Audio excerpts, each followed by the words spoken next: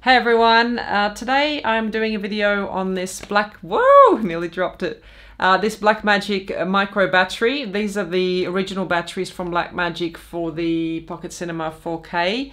Uh, I decided to go with these instead of the Canon or non-branded ones. So this is an LPE6 um, and it's a 7.4 volt. I know some of the others are 7.2. I don't know if that makes a difference.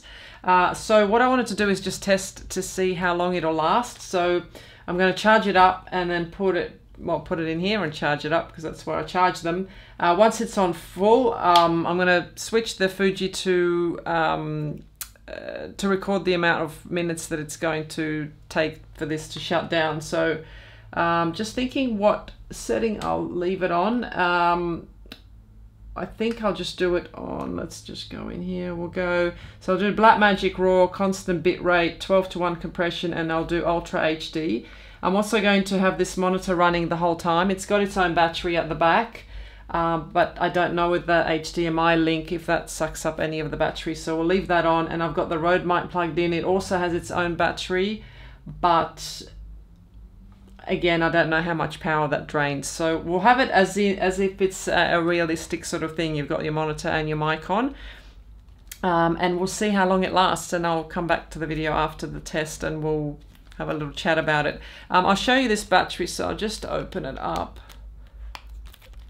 Um, just It's nothing um, amazing. I've got a couple of these already opened, but um, yeah, just in case you're interested, so it comes in a little box and um, if I can get in there.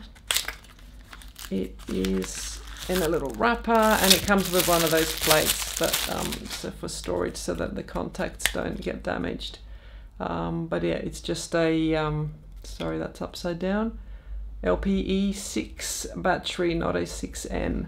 So yeah, I'll charge it up and then we'll jump over to the sort of um, time lapse if you like, and then I'll come back and we'll have a chat about the timing. All right, see you soon.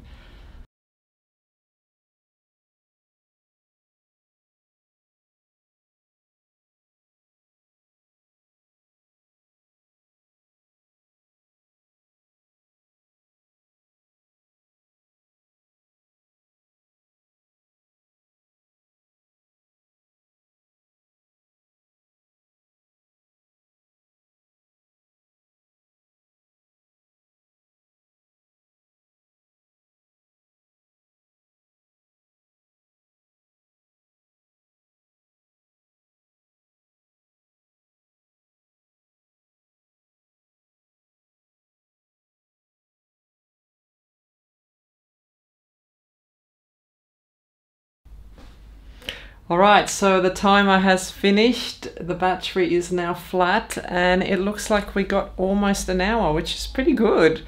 Um, I thought it only give me about half an hour, so that's pretty good to know. Um, if you've got any questions about any of it or you want me to do any other testing, just let me know in the comments and I can do another video. And I will see you in the next one. Thanks for watching. Bye.